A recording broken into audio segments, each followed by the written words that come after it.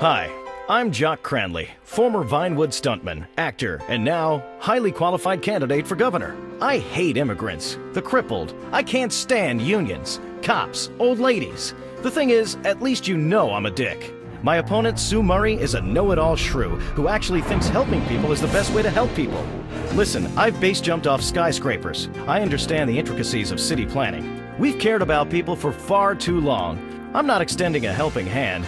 I'm giving you all the finger. Vote for me, Jock Cranley, and help yourselves. This message paid for by Jock Cranley for governor.